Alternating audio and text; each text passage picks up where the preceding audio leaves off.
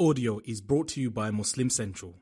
Please consider donating to help cover our running costs and future projects by visiting www.muslimcentral.com forward slash donate.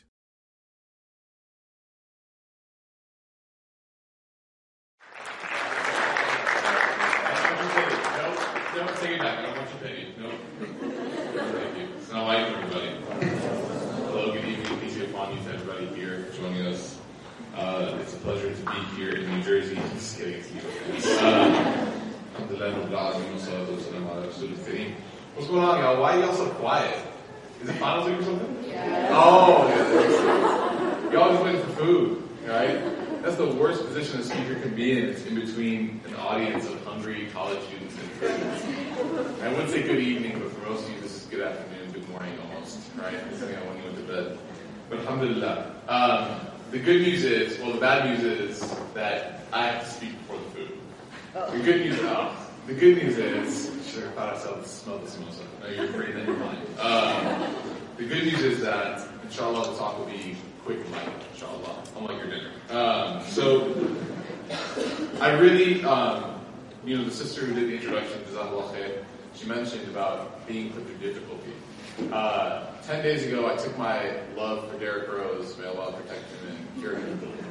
I took my love for Derrick Rose to a new level by tearing my ACL. Uh, but alhamdulillah, I'm still walking, which is actually phenomenal, alhamdulillah, mashallah. Uh, please don't nose me. And um, then this morning I was on a flight, which was uh, very early. My flight left at 6 a.m. from Knoxville, so I had to be up about 4.50. And then I go to the airport. And Knoxville is a smaller airport. It's not in the middle of nowhere. It's nice. Um, but I got from my car to the gate in like eight minutes. That was nice. But then I got to DC, and true story. So I just landed in DC. I was supposed to get to New York by like 9:30 JFK, and uh, I get to DC where I'm connecting, and I go to my gate, and there's like nobody there, and it's like that awkward ghost town feeling in the airport when it's really early, and nobody's there. You're just walking around, you're like, the Dunkin' Donuts isn't even open yet. Like the lady's like, what are you doing here, right? So I go to the gate and there's a there's a uh, one of the employees at the gate and I'm like, um, excuse me. And she's yes. I'm like, are we supposed to be boarding? Because they're supposed to be boarding literally right the minute that I got there. She goes, no, uh, the plane's not here. And I was just like, that seems like a problem. But when is it going to be here? She goes, we don't know. And I'm literally like, okay. And then at that moment, like the droves of people, like you know, f FYs, and literally they came behind me and they were all also like very upset once the plane get here. So I had to sit in Dulles Airport for four hours this morning waiting for a plane. For those of you who know Dulles Airport, it's not quite Reagan or any. It's not really that exciting. It's just a bunch of carpet. Um, like a message, but um, so I sat there for a while, and it was just difficulty upon difficulty. My leg was throbbing because my ACL's, you know, my surgery, so I'll have to schedule it next week. And I was just sitting there, and, and subhanAllah, um, I opened up my laptop, and there's free Wi-Fi. And that to me was just a moment where I just looked up to Allah and said, thank you. There's nothing worse than being stranded and having to pay $24 for a couple hours of Wi-Fi. And um, that truly to me was a great tafsir in the Ramadan That verily with every difficulty comes so far. Um, so with that, I wanted to say that it's, it's an honor being here. Um, sometimes speakers say that at the end of the talk and it seems kind of interesting it's like, well, thank you so much for talking goodbye. But I want to say that in the beginning because it, it, really means a lot that you would come and spend in the middle of finals week, uh, nonetheless, some time just coming and joining with each other in fellowship, hanging out with one another. Uh, for those of you who came with the intention of eating, may Allah subhanahu forgive you. Uh, I'm just kidding. Uh, reward you. But just to be able to spend time with one another is good. And actually, as a mental health student and as a counselor, uh, it's great to take some study breaks sometime. It's great not to bog yourself down by hitting the books too hard, right? Um, so coming to things like this is very important, and it's, it's, it's, an honor for me to be able to share some moments with you about the Prophet Muhammad sallallahu alaihi wasallam. Uh, whether or not you are, are, are, Muslim or not, whether or not you really identify with the Prophet or not, there's a lot of lessons that we can take from his life. Whether or not you are uh, you already are there, or you believe him to be a prophet, or whatever your personal value system is, there's always some good that we can take from every person, right? Um, well, most people, right? No, certainly. Uh, but sorry, I had to do it. So there's a couple of things I wanted to say. I don't have that much time. Uh, we do have a little bit of a Q&A, but there's a couple of thoughts I wanted to share. And that is that, um, did you change it from in the shade of the prophet to the shadow of the prophet? No, no, that was a, that was a chapter. Uh, okay, can I just... Is there a text button? What's going on? Oh, a picture? Dang.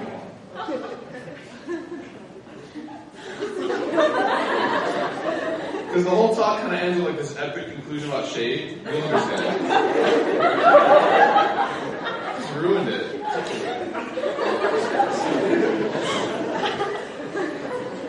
All right. I'm giving a TED talk tomorrow, and so I've been on PowerPoint literally for the last 12 hours of my life. Um, in the shade of the prophet. Okay, forget what you saw. It's in the shade. Okay. Um, no, I mean there's some, there's some interesting things about the Prophet Muhammad Sallallahu Alaihi Wasallam. First of all, everyone say Sallallahu Alaihi Wasallam at least once. Okay, say it. Say like you mean it. I've heard y'all call radio radio stations for like One Direction tickets with more enthusiasm than that. Brothers are like, no, yes, yes, you as well. Zaymo, good for Monday. So, the Prophet Muhammad is a very interesting person. And the reason I say this is because you don't get to meet very many people or get to come to know very, very many people who have the uncanny ability to be able to tie in their personality and their experiences with a variety of people, a diverse portfolio of individuals. There are very few people in the world who can say that they can relate to so many different people, but if you look at the life of the Prophet Muhammad you see that he was somebody who was, his life was filled with so many experiences, and part of the wisdoms in that the scholars talk about is that no matter who you are, where you're from, what kind of situation you've been in, you can point to some instance or event in his life and say, I know what he was going through, right? And so, for example, the Prophet was born without a, or he was born and his father had already passed away when he was born, right? And in the culture back then, according to the, the norms of the time, he was considered an orphan. And so if any of us were born as an orphan, which actually is a lot more common than you think, I have two or three students who are orphans in Knoxville, then they are able to relate to that. They are able to say that these feelings that I feel about not being able to connect with my parents in a way that maybe I see other kids doing is something that the Prophet ﷺ had with his father. The Prophet ﷺ's mother passed away when he was, how old? Six. Six years old, right? We should know this. We all know what kind of underwear Michael Jordan wears. Mm-hmm. Hanes, very good. So, yes, still? I don't know. Contract over? I don't know. So we all know we all know the intricate details of certain celebrities' lives, but if we don't know the certain details about the Prophet's life, what does that say about our knowledge of him and our relationship with him? So the Prophet's mother died when he was six years old. Interestingly enough, yesterday I was just talking to a young person, a, a young male from my community, a young man, whose mother passed away when he was six. And so there is a sort of uh, ability to connect with the Prophet. The Prophet had a, uh, a, variety of different experiences in life, and so we look to him for that. Now, the problem is that sometimes we are raised uh, in the Muslim ethos and the Muslim atmosphere with a, with a lack of a relationship with the Prophet. That we feel like he is almost like a demigod, and that we can't look at him and call him an older brother or a mentor. In fact, we almost feel like it's disrespectful to call the Prophet an older brother. But I doubt, uh, from all the teachings that I've gone through with my teachers, that he would, besides being a prophet and the best of creation, that he would feel offended if anyone felt, felt him that way. In fact, I think that that would be that was the goal that he had was to come off as that. That he was somebody who was a mentor to people, someone that could guide people in a way that they felt comfortable. And you find later on some stories that we're going to tell that he was very approachable, much like an older brother.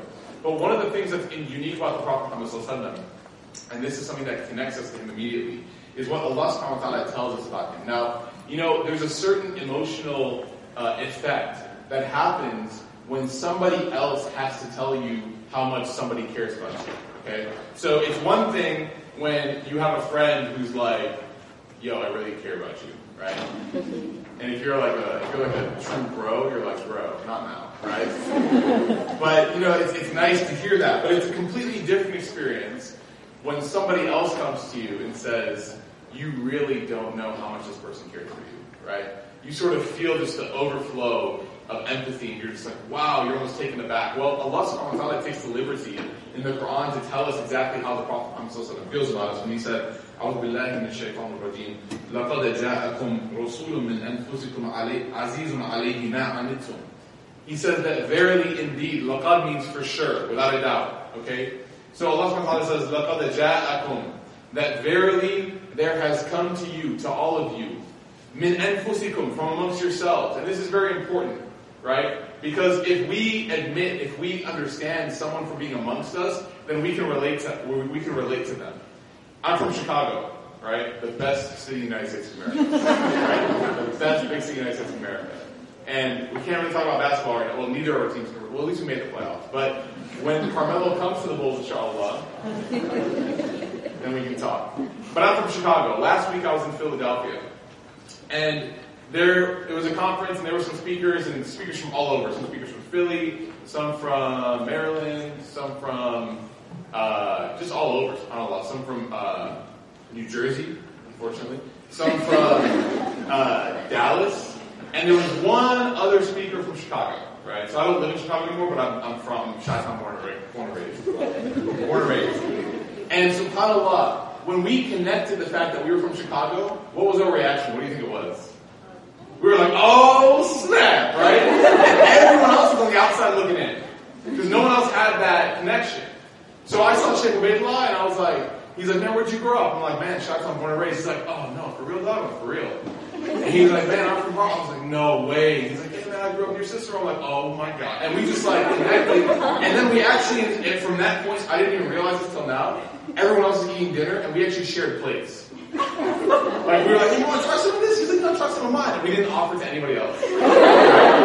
So we were like really connecting, right? Once you share your food with somebody, that's real. That's life. Okay? So we had that connection. That's what min anfusikum means. Like from amongst you.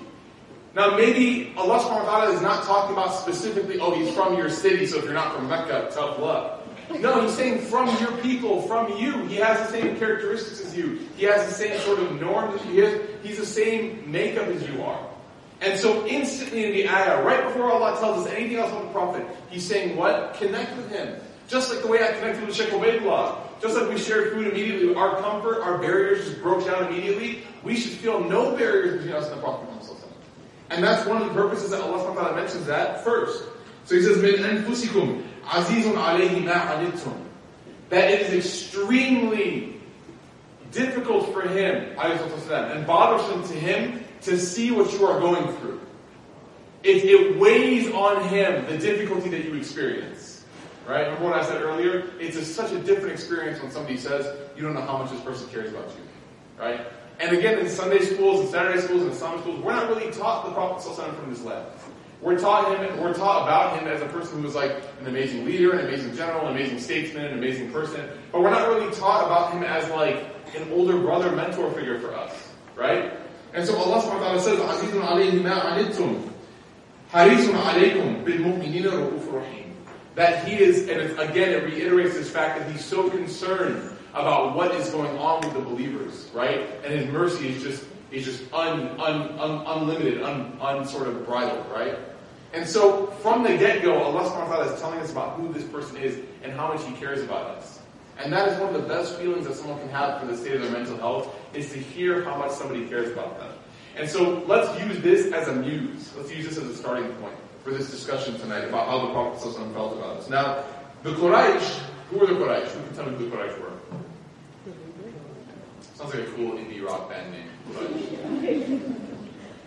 Anyone? Who were they? Man, the state of Sunday schools in New York is dropping drastically. Who were they? Okay, so the tribe of Prophet someone was a part of. Now, were they particularly fond of him? No. That's, in the beginning, okay, in the beginning they weren't, okay? They, they were not particularly fond of the Prophet They were known to be some of his staunchest enemies. And they would oftentimes have all these sort of objections, they would have all these sort of issues with the Prophet Muhammad. And one of them was actually quite interesting. And in fact, they thought it was one of their strongest proofs against why the Prophet Muhammad they thought it was one of their strongest proofs against why he was a prophet, but in fact, all it does when you look at it from an analytical perspective is add to his greatness as a prophet. They would say to the Prophet and to his followers, if this is truly the word of God, if this Quran that we just heard recited mashallah beautifully May Allah subhanahu wa ta'ala reward the brother. If this is truly the word of God, then why didn't Allah subhanahu wa ta'ala send down an angel? Why didn't God just send an angel directly? Why did Angel Jibril have to go to the Prophet Muhammad and teach him and give him the Quran? And then the Quran had to become, why, why have a middleman, so to speak, why didn't the angels come straight? Because that would be so miraculous, everyone would have to believe. If Angel Jibril just walked in this room was like, sup? Right? and just started reading the Quran, we'd be like, well, there's no doubt, we all have to believe, we all saw, we all know that that's not a human experience, that's clearly metaphysical, that's more than us, right? And so, not only does Allah subhanahu wa ta'ala respond to them by saying, you still wouldn't have believed, right? But he also leaves that argument there, as if he's not afraid for us to uh, analyze and look at it. So why did the Prophet Muhammad why was he a human being? Why was he somebody who could cast a shadow, right? And give us some shade, right? Why was he somebody who could do that? What was the wisdom in that? Number one, we're going to go through four points, inshallah, as to the wisdom of how we can relate to the Prophet Muhammad And the goal is that everyone leaves this room tonight with a renewed connection to this man, salam, and some sort of benefit they can from his life. And everyone's calling me. Please stop. Okay. Uh, so, number one, human beings. Okay, so the Prophet was human beings. Allah subhanahu wa ta'ala told the Prophet Say to them, I'm nothing but a man just like you. Now obviously he wasn't a man just like them, i.e. he wasn't in the same quality as them, but he was a man or a human similar to them, mithlukum, right? And so Allah subhanahu wa ta'ala emphasizes this point in the Quran. What is the value of this? Well, human beings are just that. They are human. They are human. I was teaching a study circle to my youth group in Knoxville, Tennessee, right? To my group of young male, female, and a couple goats. I'm just kidding. We don't have goats in Knoxville. Um, but I was talking to them about a certain story, and this story is actually found it, it, is, it is a narration that is uh, Hassan in some books and in Sahih in other books, where the Prophet Muhammad had received revelation from Angel Jibreel. What was the first word that was real? Anybody? Ikra. Ikra, right? What was the first ayah? Anyone, anyone know the first first section?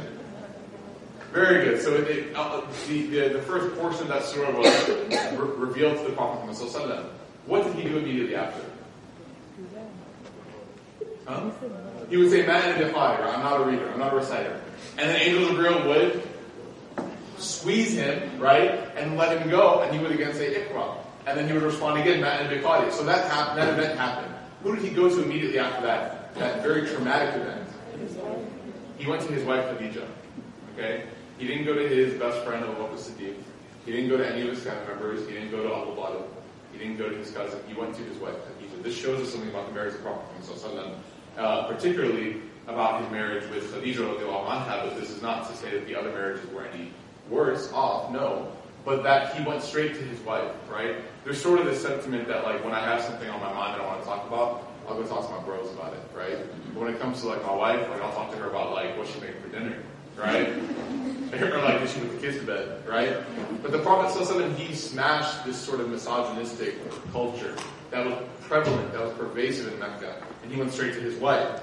Now, a lot of people don't know because this hadith is sometimes uh, passed over in different forms of seerah, but we're all old enough to understand, we're all old enough to uh, process this correctly. The Prophet Muhammad after this moment, between that time and the other time where he would, where he would receive more revelation, uh, Surah Mudassir, um, he would go walk around the town and he would see Angel Jibreel around the town. So imagine this. He didn't know Angel Jibreel was Angel Jibreel. Okay? Angel Jibreel didn't come down and was like, hey, I'm here. Here's the book. Ready? Get ready. 23 years. Like, it wasn't like that. Angel Jibreel comes down. The Prophet Muhammad is frightened, has no idea what this being is and what he's being told to do and what purpose it's for until Instagram makes it clear to him. Then after that, and I want you to imagine this happens to you and you start walking around campus at St. John's and all of a sudden everywhere you turn you start seeing this Angel Jibreel figure. Okay? And think of it like a movie scene, right? So there's a girl sitting on the bench and he puts down the newspaper. you see him, right? You go and you buy food, and he's the guy selling you your food. Like, everywhere the product, literally the he says that he turned in the marketplace and he would see him, he would turn around to walk through the way he would see in Jibril again, right? And so he thought he was going crazy. He thought that something was, was, going, was up with him. And so the Prophet became so stressed out about this experience and so concerned about this sort of event that had happened that he actually went up to a mountain, the same, the same mountain, Jabal Nur, and he actually stood at the edge. Now, he wasn't suicidal. He wasn't somebody who was mentally ill and he was like, I'm going to kill myself. But he literally stood there and says, if this is true life, is this worth it? Is this burden? Am I going to be strong enough to carry this? And so he had that feeling of stress that just overwhelmed him. He actually stood and looked over the edge and contemplated if his life was worth continuing. When I told this story to my youth group, I had a line of people afterwards telling me all about the times that they had contemplated suicide. And how they had never known that the Prophet Muhammad was in a position that was slightly similar to them, and had they known, it would have been very comforting in their time of distress. Right? Why was the Prophet human? Because human beings are just that. They're human. And when we are able to relate to one another and build on each other's strengths and experiences, that's where we grow stronger as well. So that's number one. You have all these other stories talking about how the Prophet was human, right? And so back then they didn't have prom, right? How many of you guys have like a serious existential dilemma when prom came about? Anybody? Yeah, one guy in the back. Thank you, really. Right? Everyone's like, what prom was that? I don't even know what Quran is, right? Come on. So, thank you for being honest. So, prom is a big deal. I'm not sure in New York. I mean, New York, you guys just, I don't know, you guys might go to like gyro spot or something. but prom is a serious thing, right? Especially in, in other parts of the country. And a lot of Muslim, young Muslim people are very, very uh, torn about whether or not they should go. Now, for those of you who aren't aware of why it's even a big deal, is because prom went from like this Downton Abbey, Downton Abbey-esque like classy sort of like gathering, the promenade, to like straight up just bump and grind, right? Like that's all, this is all that goes on there. And so in this sort of atmosphere of immodesty, the question that the believer has, the Muslim believer, is like, should I be there? Should I be a part of that? And that's a serious question for a lot of high schoolers to ask because it ties in directly with their identity, their self-image, their social group, their peers, and so they're very concerned. So one thing we did in the Sira class about the Prophet Muhammad was that I told them a very interesting story. Now, granted it was before he received wahi, but there's still an understanding that before the Prophet received revelation, there was still, obviously his heart was clean, and so he was pure in his intention and action. And God protected him from making mistakes like this. And so one time, there was a sort of Arab shindig that was happening, may have not been called prom, maybe Brahm, I don't know. But there was this area of shindig that was happening. And so the Prophet Muhammad he is he makes plans to go. Now I want you to think of all the parallels, okay? So when I'm giving this class, I'm speaking to high schoolers and college students. So I start making parallels, and some kids start laughing so hard because I do I nail exactly what they did to go to prom. So I'm like, okay, so the Prophet Muhammad his occupation was, what was his job, his part-time job? He was a shepherd, very good. So a lot of kids in my youth group had part-time jobs. I'm like, look, he worked just like you did. Like a Allah subhanahu didn't just send him a stipend every week, like here's a bag full of gold, and he's like, what? Right? He would work for it, number one. So and I told the young person, you work for your, your money too, right? He said, yeah. Then I said, okay. So then he finds out that he has to work the night the prom is. Oh no, right? So what does he do? What does a person do when they find out they have to work on the night of something they want to go to? What do you do? You trade shifts. Very good. I love it. So the Prophet he goes and finds another shepherd. He's like, yo, you watch your can you watch my sheep on Friday night? I'll watch yours Saturday morning, right? literally, no, literally, he's trading, he asks someone else to walk, take care of his, his flock, okay?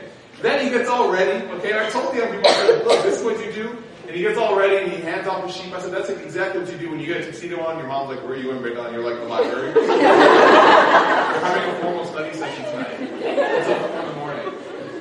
Right? And I'm wearing, I have to wear a bow tie, wasn't letting me in. so I, I, the Prophet was taking steps to make it to this event. And I said to all the high schoolers and people around, like, you do too, right?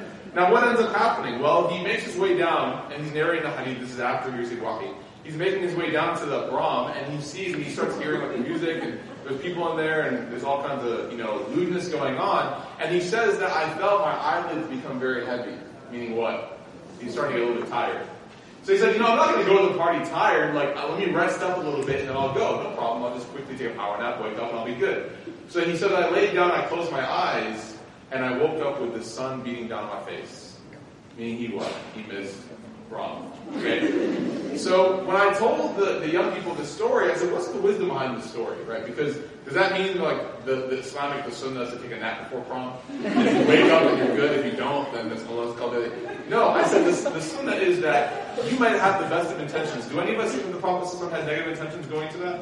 No, he just wanted to socialize, just like each and every one of us want to socialize. Each and every person in this room loves to be loves to be with other people that they consider friends, right? But there are some environments where it doesn't matter really what your intention is. You could have the best of intentions, those environments will still affect you. They'll still affect you. Human beings are nothing but products of their environments, nature and nurture, right? And so there's a sort of present theme in, in Islam that what you are, you become among, you become a person who is the people that you are around. So if you, whatever kind of friends you want to attract, be that friend. If you want to have good friends, be a good friend. If you don't really care what kind of friends you have, then maybe you don't have to worry about what kind of friend you are, right? And so we learned this. Now, when we were able to tell the story, the kids were so able to connect. Why? Because of his humanity, the human element. You also have the story of how he got married, right? How many of us, our parents, ever talked to us about love? Okay, let, let, let, let's let's triage this a little bit. Okay, how many of us, how many of our parents talked to us about what gender we were? Anybody? Okay, girls, yes. Okay, you guys are like, I still don't know actually. uh, this one parents make me take anatomy four times. I don't know. okay. So, what gender? Like, your parents are like, okay, these are the parts that you have, and this is what make, okay? Some parents don't do that still, apparently, okay? How many, how many of your parents talk to you about the other gender? Anybody? The same guy I promised back. so, how many of your parents talk to you guys about sex? Yeah, buddy. I do it, right? No, and I, and I appreciate that, dude. I appreciate that because, listen, young people are going to learn all about sex. Okay, they're going to learn all about it. It just matters where they're going to learn about it from. It's not a question of if, it's a question of where and when. And so, why, like, why not teach it to them in an environment that is healthy, that is supportive, and that is open so they can ask questions instead of having to Google the answers, right? It's probably not a good idea. So, the Prophet Muhammad he and his first wife Khadija, anha, our mother Khadija, they had a very interesting proposal stage, right? And a lot of young people, have, have any of your parents talked to you about like having crushes? Any crushes on boys? No? Some of you are saying no, some of are saying yes. Some of you are like, what is a boy? Anyone crushes on girls? Anybody? Parents? Same? Okay. I'm getting a very elaborate painting of your high school years. Uh, so you have, so you have like parents who would talk to their kids about crushes, and I've heard parents say this. I've heard parents say this phrase that love haram. Anyone heard this before? Wow. Yeah, you heard it? Be honest, girl. Don't be afraid. Yeah, I've heard parents say this. No, love is haram. Right? There was also this one. There was also this one. Uh, this one sheikh that I know, who I really respect, and I think it was a, I think it was a lost in translation moment, where he was talking to a group of young men about how he really wanted to tell his wife how much he loved her. And so he made like a nice like uh, basket of like like snacks and like drinks and he was like, let's go on a hike. So they went on this hike, okay? And keep in mind, this guy's like straight from Bangladesh, okay? My wife's from Bangladesh too, okay? So I can like, I'm gonna about you. Like, okay? So I have to be careful to say to the guy's side. Right? So this guy's like straight from Bangladesh, and I think his wife is actually a Caucasian convert.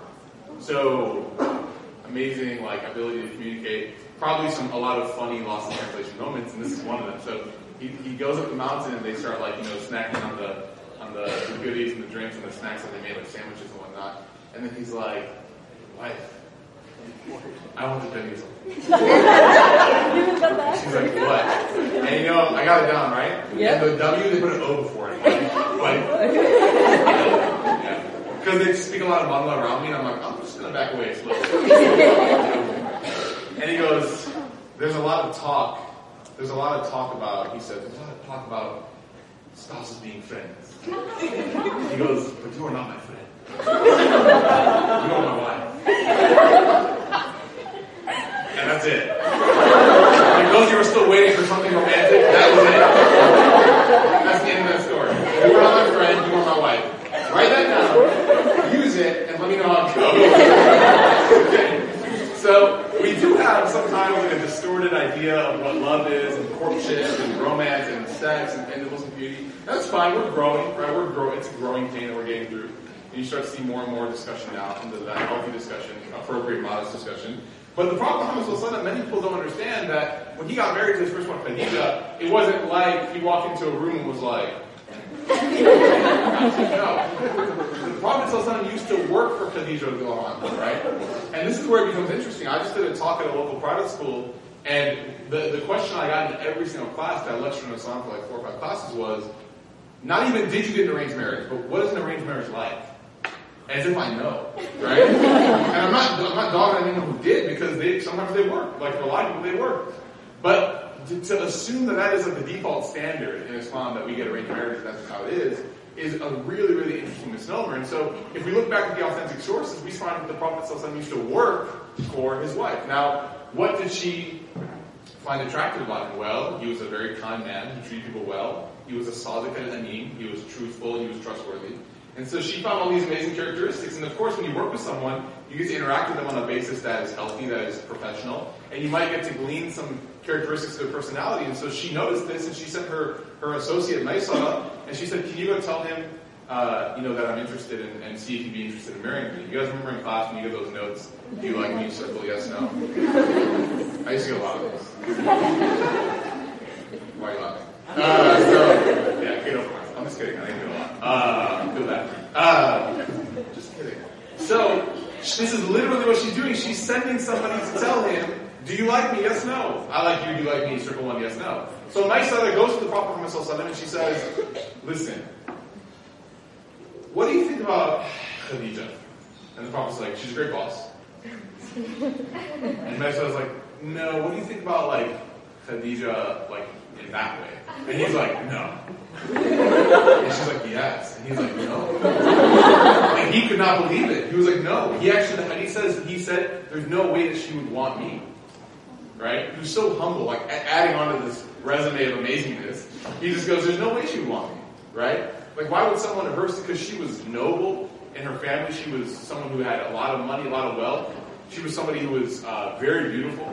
She was somebody who was looked at by society as like the, the perfect girl, the perfect woman. And so he says, why would she want someone like me? I was like, trust me, she is interested in you. And so this, what does that do now? That story alone, what does that do to this shade of the Prophet that we're talking about? See, because for some people the shade is very narrow. For some people the shade is not, you know, vast enough for us to sort of sit in. But when we hear this story, then young people are like, wait, so it's okay to have crushes on people? And we say, yeah. And we say, that's just part of the human experience. The response or the, the okay or not okay is how we react to those crushes, right? What we do if it's a healthy reaction or not. And, and subhanAllah, you'll find some of the most amazing and beautiful poetry. You know, Ali radiallahu anh, he stood at the grave of his wife Fatima when she passed away, anha, and he said an amazing couplet. He said to her, this is the translation, he said, what a, what a, um, he basically called himself like crazy, but he said like, what a, what a crazy person am I that I'm standing at the grave of my beloved and I'm offering her salams and she's not responding to me. That's from our, that's from our books of history. But our tradition doesn't allow for people to think like that sometimes, not on its own, but how it's being interpreted, right? And so the shade of the Prophet in this regard is very vast. And his human experience, his human element is very important. How many of you after hearing those two or three stories automatically feel closer to him? Anybody? Feel closer to the Prophet Knowing that, yeah, he had some times, some tough times. Yeah, he got married in a way that was kind of cool and romantic. And yeah, he encouraged it, right? So let's continue.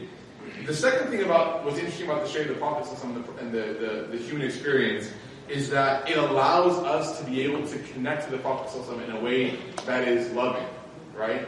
Now, if I ask you the question in Sunday school, do they teach you that you should love the Prophet Yes? Okay, so if I ask you the question, do y'all love the Prophet what would be your answer? Yeah, people say yes, right? So people were like, went to the Muslim, up Muslim, or converted to Islam or whatever, they got Islamic education at some point. They know that part of this religion is to love the Prophet. But what's interesting is that this love, it has a couple proofs. Okay? There's a couple, you know, necessary proofs to this love. If I say I love someone, but I don't ever do anything that shows that love, do I really love them? Right? Everything has proof in life. When you're hungry, what's the proof of that? Huh? Your stomach hurts? Okay? Do you guys ever get those stomach noises? Yes. Where it feels like your stomach is eating itself? Anybody? A little bit graphic, I know, but just stay with me, okay? When you're tired, what's the proof of being tired? Yawn, okay? Or just fall asleep, okay? When you're excited, what's the proof of that? What? Heart Heart races, smile, like hands a little bit sweaty. Come on, let me honest. All right, hands a little bit sweaty. Okay, so everything has a proof. What's the proof of love? Huh? Heart races, okay. Going back to excitement. And hungry for some people. A proof of love, my contention that love involves two proofs, two main proofs. Number one is imitation. Okay? When you love something or someone, you imitate that thing. You know, I grew up in Chicago in the 90s. I was born in 88. And I was just at that age where I was cognitively able to enjoy the Jordan years. A life of, mashallah. We may have lost my life for years, not, not Jordan. I really am not a huge fan of him as a person. Those years were one of the best years of Chicago sports ever, right? And there were a couple things that Jordan did that were iconic. That kids all over the city, I mean the country really, were trying to copy, okay? Anyone wearing a Jordan gear right now? You are? Where is it? On your shoes? Okay, what's the logo? What's the Jordan logo? What? What's the Jordan logo? What's the logo on your shoes? He's dunking. Okay, well he's not quite there yet, but he's so he's got his legs spread and he's doing this. Okay, that was an iconic Jordan move, right? The leg spread and he pulled the ball like that. So iconic. That symbol became such a symbol of Jordan that now on his multi-million dollar whatever industry company of clothing and, and textiles and whatever, that is his logo. When you see that, you know that it's a Jordan brand thing, or that someone got it from Pakistan. It's backwards. Okay, Alright? More like the ball's connected to his foot. Right? So that has become now. What happened now when, when Jordan did that? Okay, multiple times in games and dunk contests and whatnot. You had little kids who couldn't even jump over a piece of paper, right? Flat piece of paper, doing that. They would just be walking around the house like this, right? Because their love for Michael Jordan was so strong that they wanted to imitate him. Another thing that Jordan did was what? What was the other thing he did? The push off. Thank you. Bitter? Bitter? What was the other thing he did? A little tongue? He did that when he was like, when he was about to cross over somebody, he'd let the tongue kind of hang out a little bit. I don't know why. There's a lot of rumors that he grew up in a very hot climate, so when he was playing basketball outside for days on end in the summer, his tongue would just kind of droop out. I don't know. But you'd have kids walking around with just like puddles of drool surrounding them. Because they would just walk around the house just like, right? Why? Because they love Michael Jordan. There was even a song, I want to be like Mike, very famous song. He's playing on the radio, I want to be like Mike. What is more what is more of a proof of love than a song, I want to be like Mike? Literally the lyrics are, I want to be, I want to be like Mike. Like Mike, I want to be like Mike. Genius. Like that dude's writing it down, he's like, I got it. I want to be like Mike, X3. Want to be X3 like Mike. Take me to the bank, right? That's that's love. Now, the question we have to ask ourselves is this person who is identifying with us now, the, the height of the human experience, the Prophet do we have love for him? Don't say yes. Instead, ask yourself, how do I try to imitate him? Because true love is not a yes or no answer. The question, do you truly love somebody, is not yes or no. It is a resume, it's a portfolio, right? It's going to let you know what have you done to show yourself that you truly appreciate and love that person. The second kind of love, or the second kind of proof for love, is sacrifice. Okay? Is absolute sacrifice. And you see this a lot. You see this in all kinds of relationships. How many of you, any mothers in the room tonight? Any mothers? Okay. Did you say that if you love your children? Okay. Did you say that you would sacrifice a lot for them? Yeah. I mean, definitely.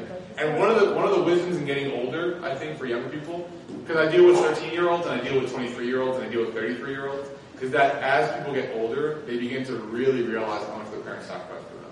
And it's something that like you want to make sure that when you're young, the only rule you should follow is just shut up. Don't say anything that you're going to regret later on, because when you turn 23, you're going to be like, oh my gosh. Right? I had kids who were when they were 13, they used to speak so poorly of their parents. Then when they went to college and they filled out FAFSA, and they saw what their parents were making, and they felt so upset at themselves for ever yelling at their parents for not buying them the latest game system or a new pair of shoes every six months because they saw what their parents' annual income was. And their parents did such a good job of trying to hide that from their experience. They would always try to get them new clothes on Eve, even though they couldn't afford it. They would always try to make sure that they had a little bit of cash for the weekends to go to the movies with their friends. And once they saw that, I had friends come to tell me they, they broke down tears their eyes, ran to their parents, and just hugged them. Because they said I had no idea that's what you were making. And I used to treat, like, when I moved out of my apartment, dude, my mom and I, okay, I'm half Egyptian. Anyone here half Egyptian? Anyone here Egyptian at all? Half Egyptian so specific. I'm like, anyone here half Egyptian? okay, so you're Egyptian, half Egyptian, okay. Like, Egyptian mom? Yeah, Egyptian mom? You're full Egyptian. You full Egyptian? Half? Mom or dad? Father, Father, okay. Well, that's a, that's a different experience. But Egyptian mothers, like, well, not, they're all not Egyptian mothers, dude. Like, intense, okay?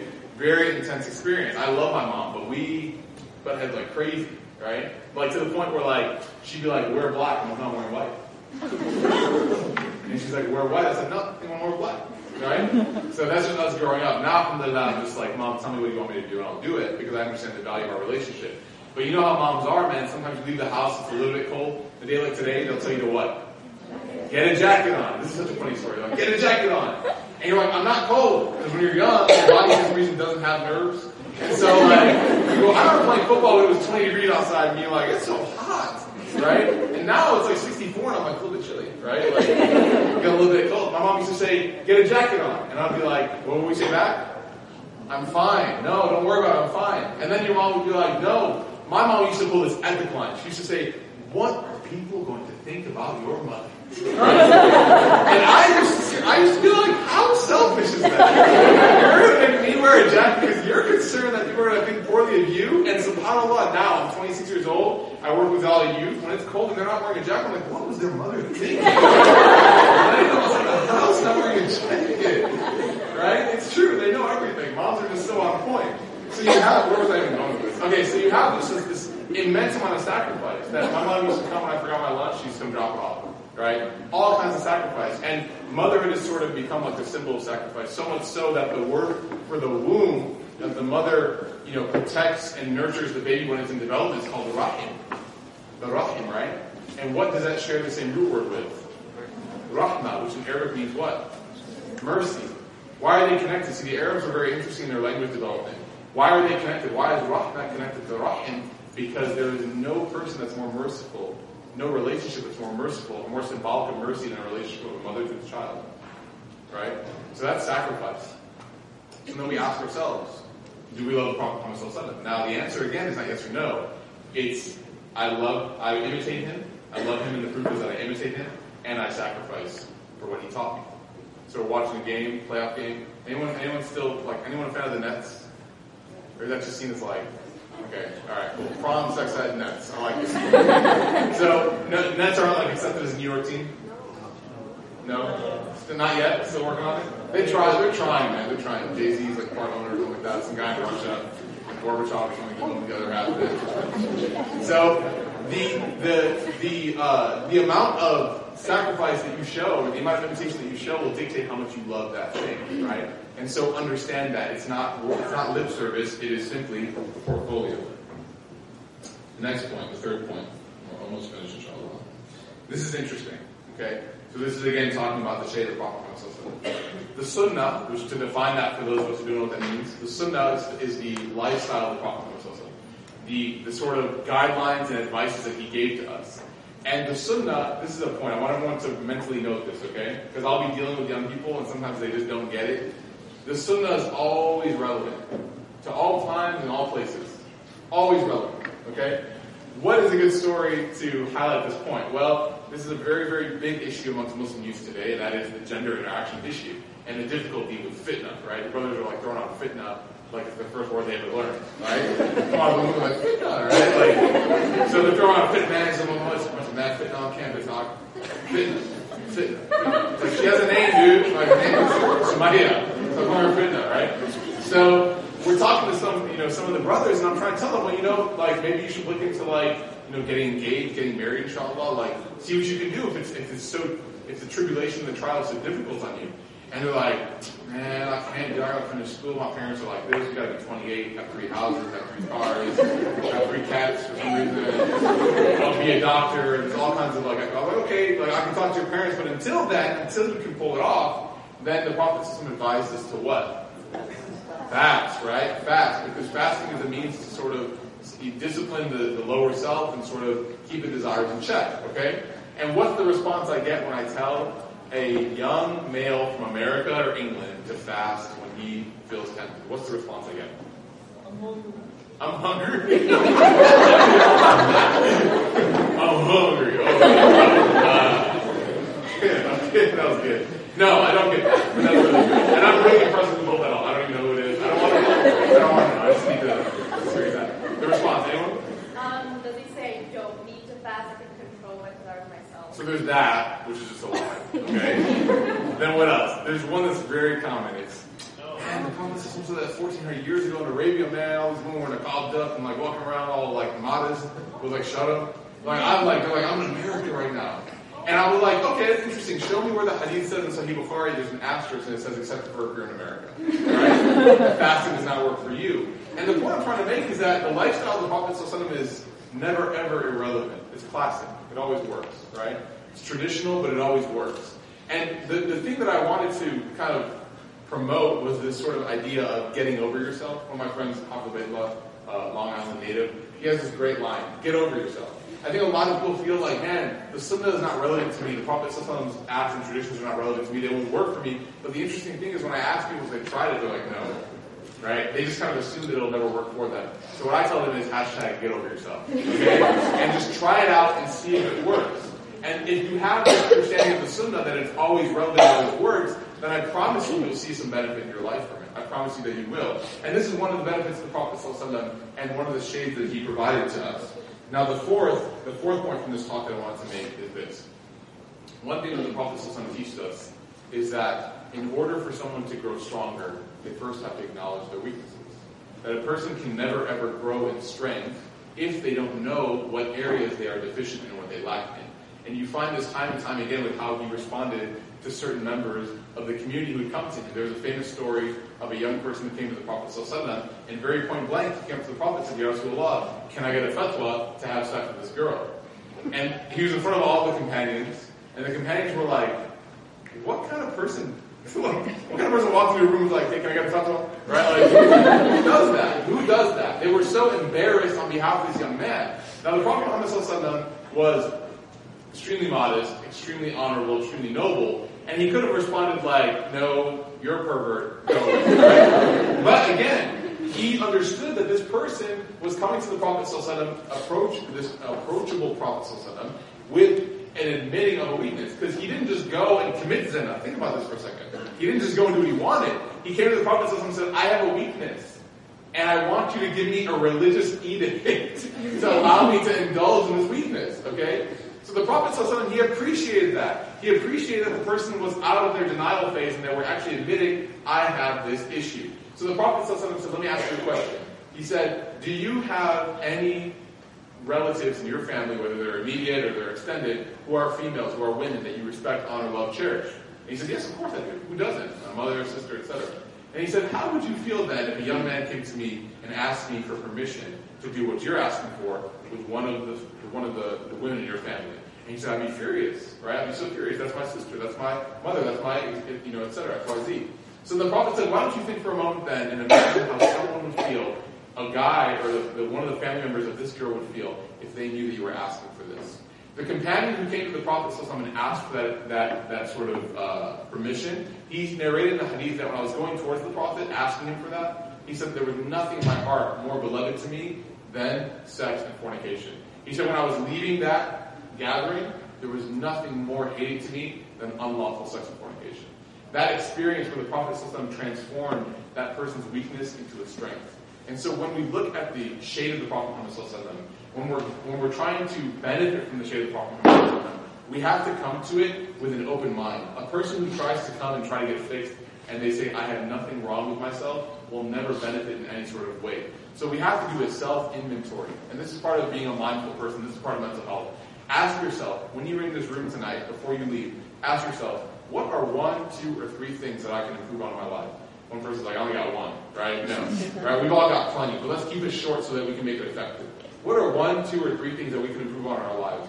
What are one, two, or three things that we can benefit from being in the shade of the Prophet The reason why I love the talk or the title in the shade of the Prophet much more than in the shadow of the Prophet, which is so much why I changed it. You guys should fire your graphic designer, by the way. Don't tell them that I did that. Okay, so is because the shade has amazing qualities. Okay, and this is the conclusion of my talk for tonight. Shade has amazing qualities. What are some of the qualities of shade? When do we seek shade? Huh? On a hot day. Does it get hot in New York in the summer? Very hot, right? And shade becomes like a like a really high commodity. Like shade, everyone's seeking out shade. And so shade is sought out when the environment is tough to deal with. And so this is a beautiful metaphor of the sunnah of the Prophet Muhammad is that when the environment figures out to be, or figures to be tough for someone to deal with, they should run to the shade. And the shade for humanity is to follow the best examples, the example of Prophet Muhammad What else is in the shade? What else is a requirement to be in the shade? Hmm? That was good, I liked it. I heard what you said, I just want to say it louder. Getting up! Like you can't just be like, man, that shade looks real nice. You're like, I wonder if Darth Vader shade. you can't just do that. You have to get up and go to the shade, right? And that ties in directly to my next point, which is proximity. How can somebody be far away from the tree and, ex- expect to benefit from the shade? There's no way. And so if we want to benefit from this shade that's going to cool us from the temptations and the, and the trials and the difficulties of our environment, of our lives, then we have to have proximity to the Prophet Muhammad Without proximity, we'll be too far away from benefiting in the shade. And once you're in the shade, what will you expect to find dropping at your feet into your hands from the tree? Fruit, right? The fruit that the tree gives off. And that is that when you are close to the Prophet Muhammad, when you get up and go into his proximity, when you benefit from it, when you're trying to stay away from the difficulties, you will find these fruits that you never ever expected to be there. You will find these sort of extra added bonus that you never ever expect to be a part of the experience, but that's part of the barakah of being close to the Prophet. I want to thank everybody. I, would like to keep my talks relatively short and just small and you know, a couple take home points so that everyone can walk away not feeling exhausted and tired. Thank you so much for inviting me. It's an honor to spend some time with you. Inshallah, I we'll have a Q&A as well. Um, Jazakumullah khairan wa salamu alaikum.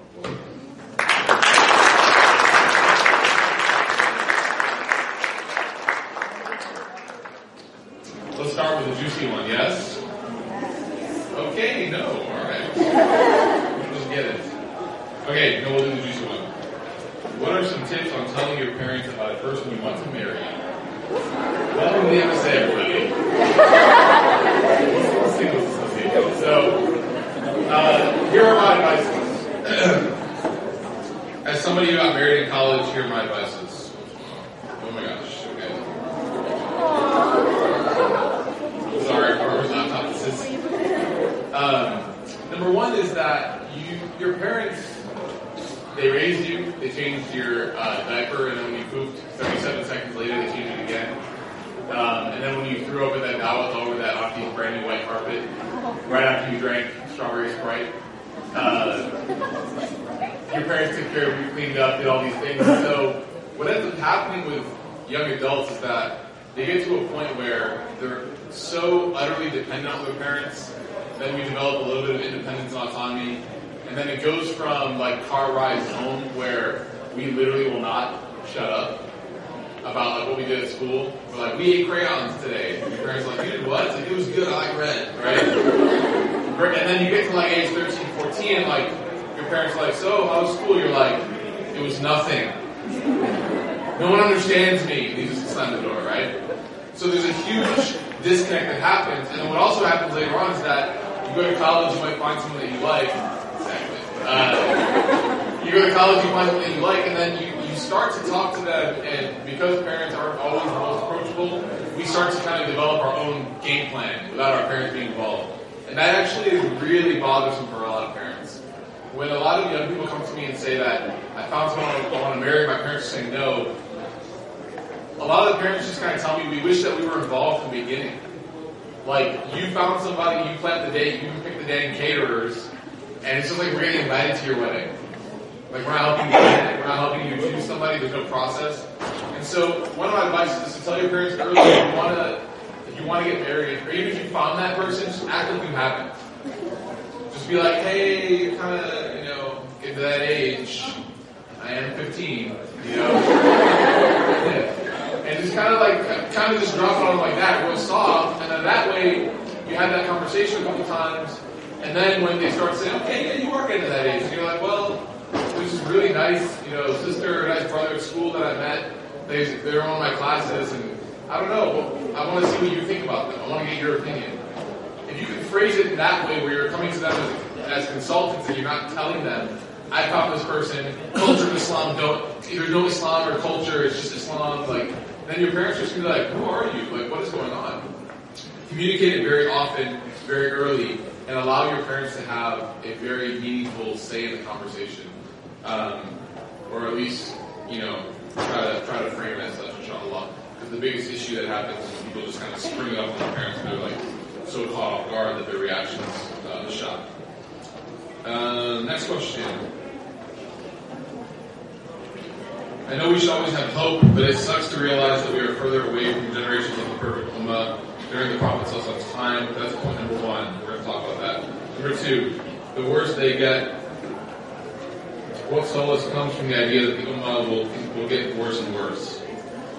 Okay, uh, so the first thing is that this idea that the Prophet's ummah was the perfect ummah is actually a flawed idea. They were the best of people, but there was a lot of serious issues going on over there back then. I mean, there was fornication, there was a lot of uh, drinking, there was, um, you know, murder.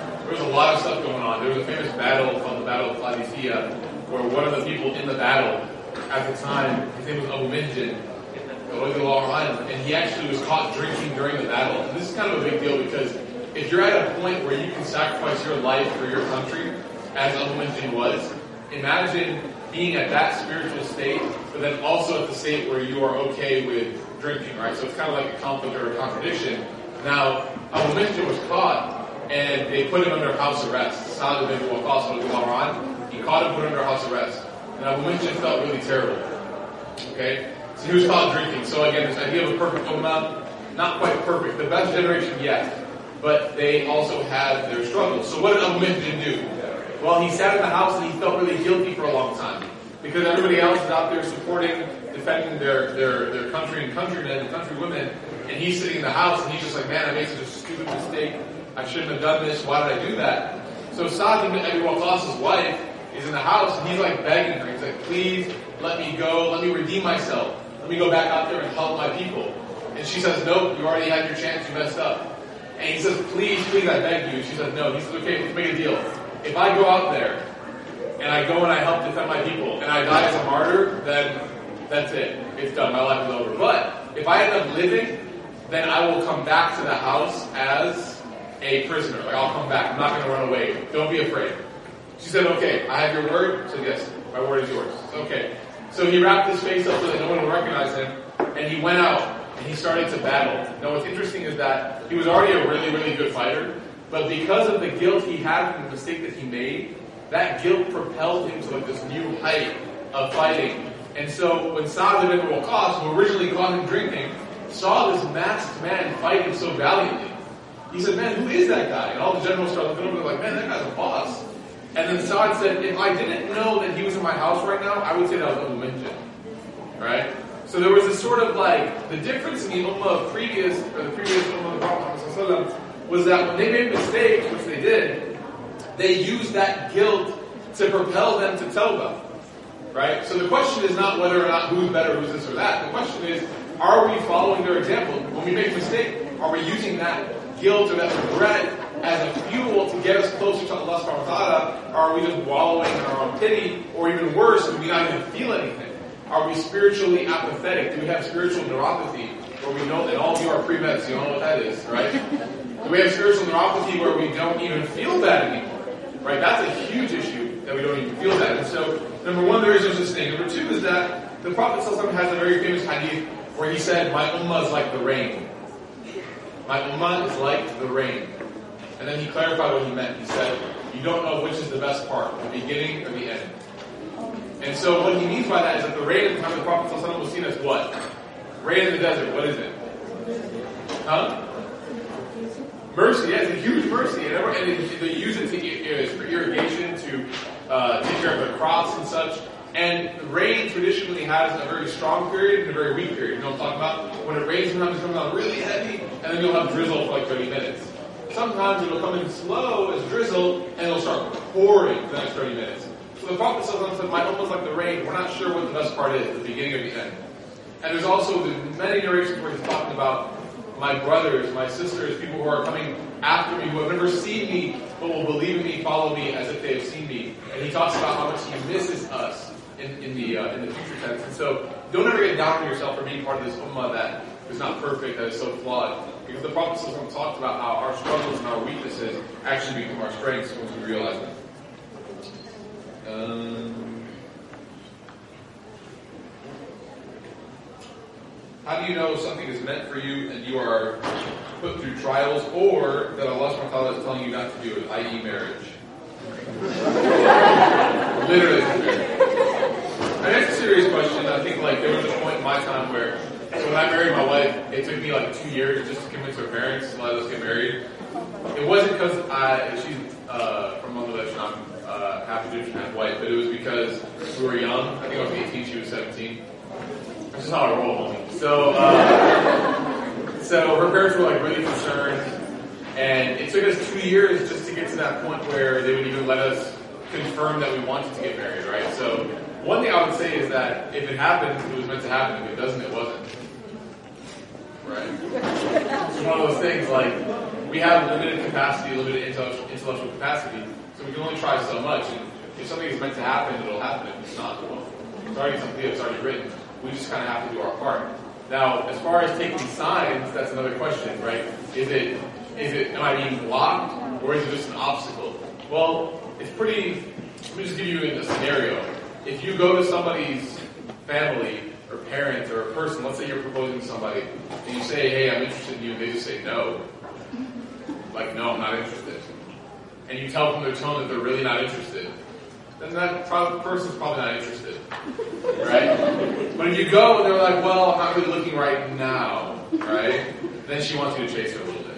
Okay? Write that down. Uh, no, or they say things like, well, I'm not sure, I was really busy with school, things like that. These are all excuses to get you away from her. But at the same time, notice how the door is not completely shut. Now, if he is married, sisters, then the door is completely shut, probably, right? And if she's married, then yes, it's completely shut. But you just have to gauge it. You just have to play it, like, and see, uh, based on tone and things like that. And then always ask Allah subhanahu wa ta'ala to guide. And you'll see, subhanAllah, when you pray the istikhara, the beautiful thing about istikhara is that it'll make your heart content with what you're supposed to be content with. That when you pray istikhara to Allah subhanahu wa ta'ala, oh Allah, give me what's best for me and save me from anything that's not good for me. And if this is good, give it to me. If it's bad, replace it with something better then you'll find that your heart will be content with the, with the, the fork in the road that you're supposed to choose. Right? So, so the morning after, the day after, the week after, you'll start feeling more and more inclined towards a certain way, and go ahead and choose that way. The Prophet said, to Khalid, he said, ask your heart.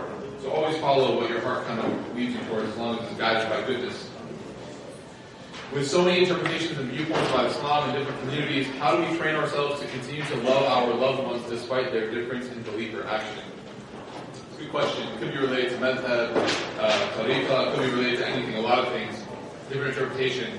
Um, I think it's important to understand one thing, that the Prophet Muhammad he had a variety of different opinions amongst his community. Um, so many different kinds of people, so many different uh, backgrounds, so many different understandings It's kind of a, it's a fallacy to think that they had one understanding. Um, you know, if any of you have taken Sheikh Abdul Nasser class meaningful prayer, you'll know that there were six different tashahuds at the time of the Prophet while he was alive. Right? Six, at least. And so, understand that. The Prophet was alive and there were six different ways of ending the prayer. What does that mean? That means that pluralism and diversity are allowed in this religion, are encouraged. وَالَّذِينَ جَاهَدُوا فِينَا لَنَهْدِيَنَّ لَهُمْ سُبُلَنَا Allah subhanahu says, and those who strive for us, we will, uh, we will provide for them paths S, okay? Not one path. Not sabilana, subulana. Meaning what? That everyone has a different path to Allah As long as that path is headed toward La ilaha illallah Rasulullah, and is amongst the ijma, like what the scholars agree on the consensus, then you're good. Right? The direction has to be one direction. but the paths can be parallel. They can be congruent. They can be side by side. Okay? And also humanize people. It's very easy to hate people when you don't know anything about them. But the minute you humanize them, it becomes very difficult to hate them.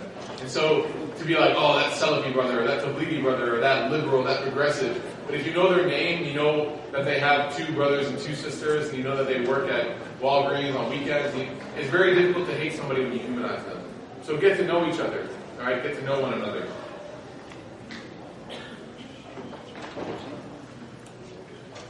Students who often contemplate suicide or just uh, thoughts not meant to be had, do you think that a psychiatrist, or do you think that a psychiatrist is beneficial? I know many people who think that being depressed is haram. No, absolutely not.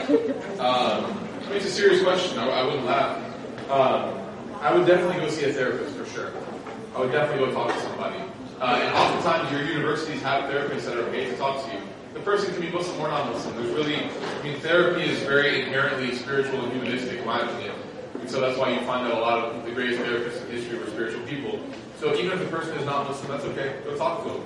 Just kind of get some stuff off your chest and get some stuff off your mind. The Prophet Muhammad Sallallahu had many therapists that he would talk to. He had obviously his spouses, he had angels with real eyes to them. And most importantly, he had Allah subhanahu wa ta'ala, he had God. So don't think that talking about your problems is a weakness. In fact, it's a way for you to direct those troubles and grow from them. Um, and yes, I, I, I definitely advocate seeing somebody talk, to talk to about these things.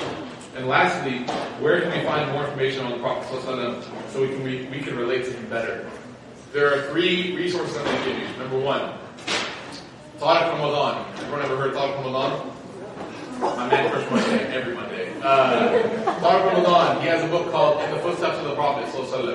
One of the guys, selfie in progress in the back. Is that what it looks like? I feel like I got National Geographic. Sorry, I didn't call you out. I just had to. I just had to do it. Sorry. Listen, just post it, inshallah. Everyone will remember if you laugh. Oh LOL. Right? So, Ramadan's book. If you don't want to call out, don't hold the phone so high. I feel bad now. No, don't feel bad. Okay, thanks. Judges? No, don't feel bad. Okay. Tariq Ramadan, In the Footsteps of the Prophet, one of the best hero books I've ever read. It's not the biggest, it's not the, it's not the most lengthy, it's not the most, uh, you know, difficult vocabulary, but man, does he get the point across. He is a great writer, mashallah, and he is able to extrapolate some of the most uh, heart-softening points from all these stories. It's not as detailed as other resources, but it's a great, great primer and start. And if you have anybody who is not Muslim or is hearing about Islam, and they want to learn about the Prophet Muhammad, I highly recommend that one because it's just written so well.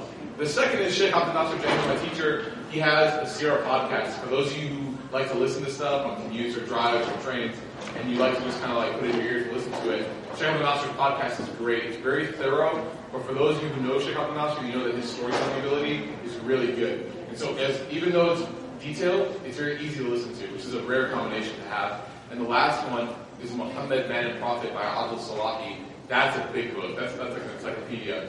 But it's written in a very narrative format. So instead of being like, you know, date, event, date, event, like some other Seerah books, it talks to you in the uh, narrative format. So it's kind of like this really beautiful uh, flow of the story the Prophet system.